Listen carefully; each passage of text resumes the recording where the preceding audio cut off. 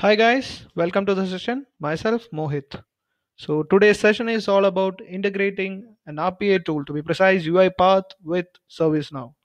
In fact, creating a ticket in ServiceNow from UiPath. So before going to this session, I would like to share a conversation between myself and my colleague, senior colleague, regarding RPA. So I was just checking with him. Uh, hey brother, do you know RPA? Have you worked on RPA?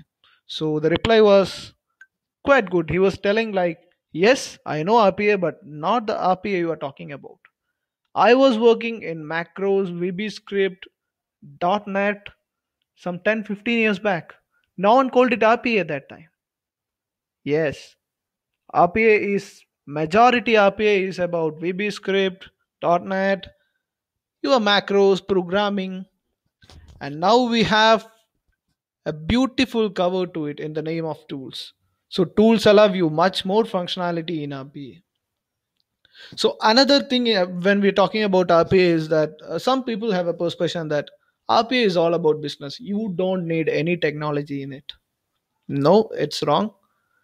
So a majority of the times data lies in technological areas, whether it's a SQL database, whether it's a Oracle database or ServiceNow, blah blah blah. Many tools are there, mo- monitoring tools.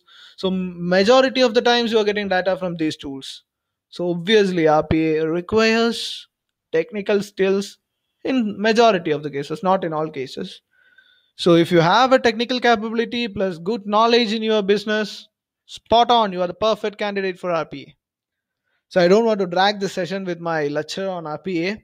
So let's get quickly moved into our thing. So I have a CSV sheet here with the description, impact, urgency, and assignment group to create a ticket inside ServiceNow.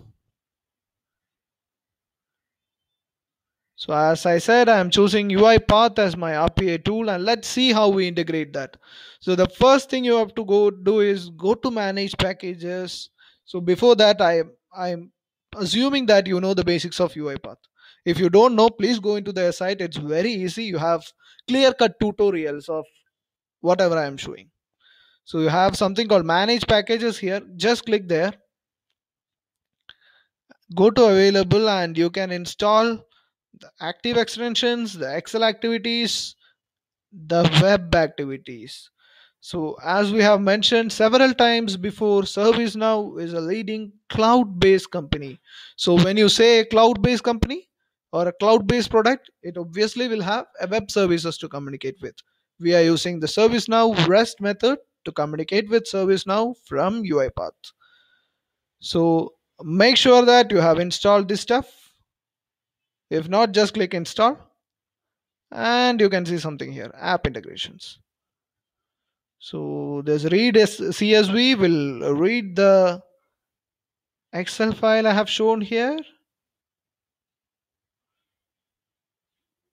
now i'll use a for each to get each row from there.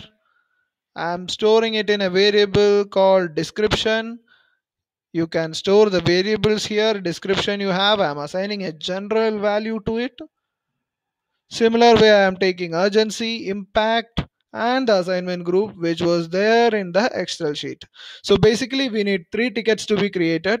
The first ticket with short description, test data software, and it should be assigned to service desk group.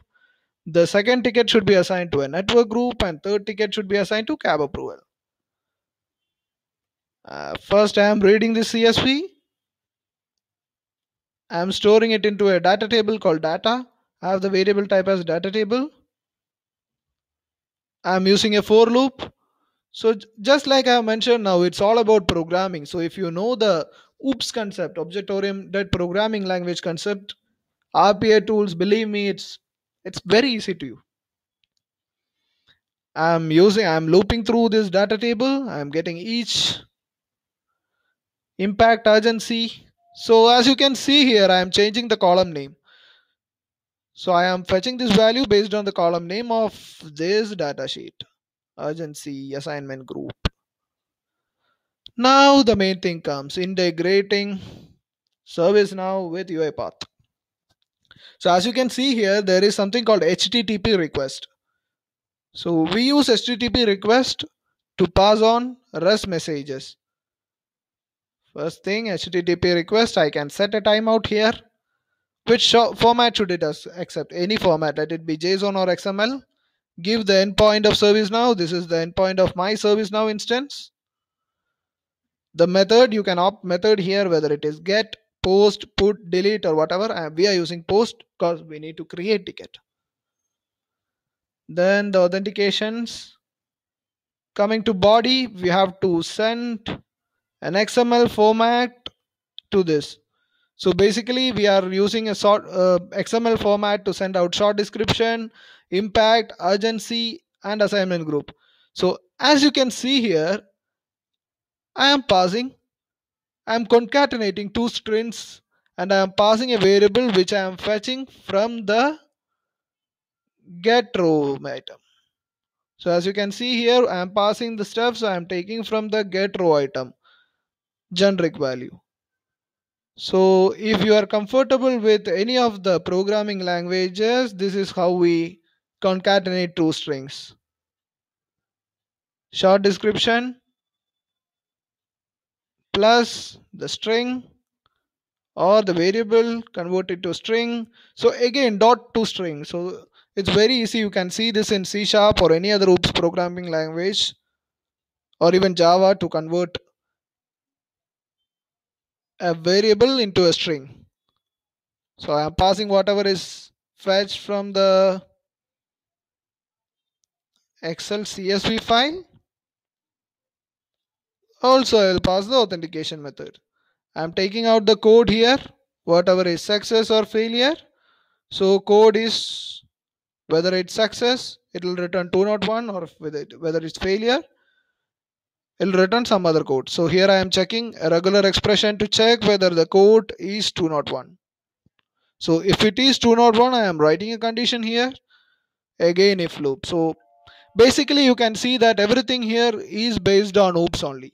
So again you can see a for loop here. I mean if loop here. So if it is success, it will write the line as success. If it is not equal to 201, it will fail. Now let's run this flow. So we are running the workflow and it's completed.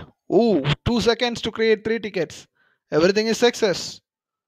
Let's see if it is really completed or not. Yes, you can see three tickets here. Test data software, which is assigned to service desk. Test data network, which should be assigned to network. And cab approval, which should be assigned to cab approval group. So three tickets you have created in less than one second. I'm sure in practical life you will not have a use case to create ticket from a C, uh, Excel file or CSV file. But the main thing here is now you know how to integrate ServiceNow with UiPath. So for more videos, please subscribe to my channel. Thank you.